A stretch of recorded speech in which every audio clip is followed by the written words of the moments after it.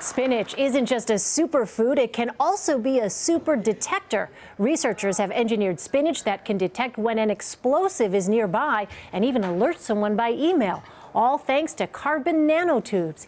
Here to explain it all is Dr. Juan Pablo Giraldo, Assistant Professor of Plant Physiology at the University of California, Riverside. He was one of the individuals involved in this research. Uh, so let me ask you uh, first, sir, can you break this down for us in layman's terms? How did researchers get spinach to detect explosives?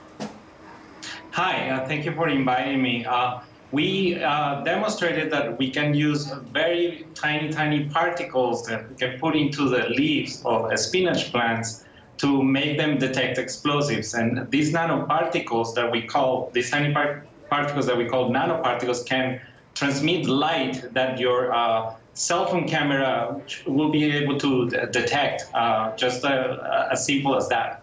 And why use a plant? That's so interesting. Some people would say, you know, when we think traditionally of explosive detecting uh, technology, we think, of course, of bomb sniffing dogs, but why a plant?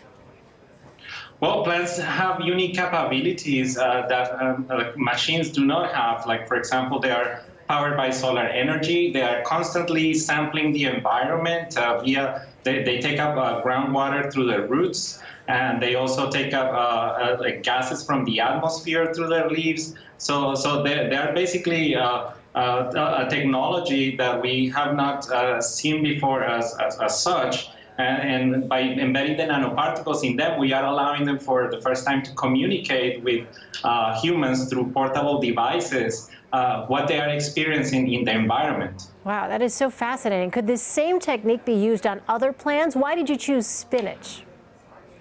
Well, that's a good question. Yeah, actually, we chose a spinach because uh, it is a plant that, that, has not typically been used uh, for uh, as a genetic uh, engineering uh, system. The, our approach is a different approach. We call it a plant uh, nanobionic approach, in which we can basically use any type of plant in the environment. Any any wild plant could be potentially infiltrated with these nanoparticles through the leaves, making it an explosive detection plant or uh, a, detection plan for other chemicals in the environment. What kind of chemicals, Juan Pablo? What other compounds can the plants be tailored to detect?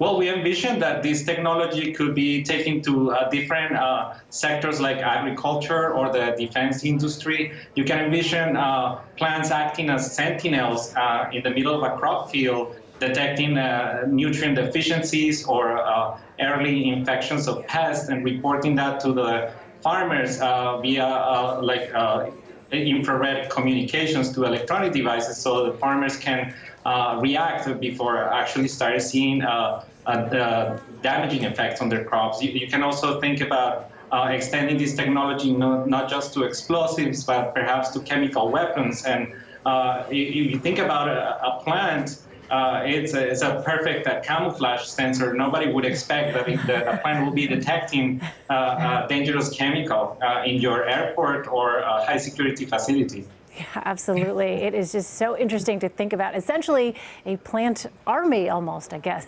Dr. Juan Pablo Giraldo, thank you so much. Yeah, thank you for having me.